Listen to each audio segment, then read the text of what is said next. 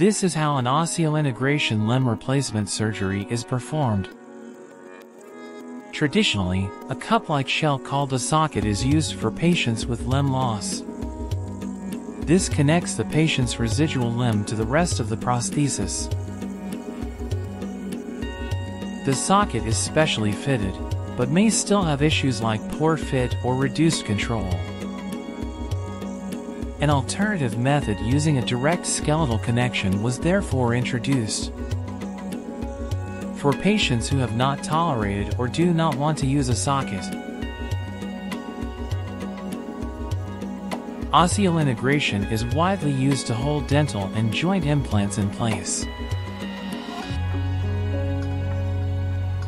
During an osseointegration limb replacement surgery, doctors plan out the implant and make an incision through the end of the limb to prepare the canal. Drills and broaches are used to adjust the canal to a proper size. An implant is placed inside and impacted into position for an immediate fit.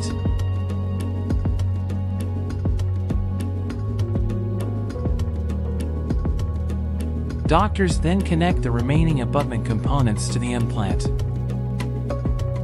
and secure everything in place.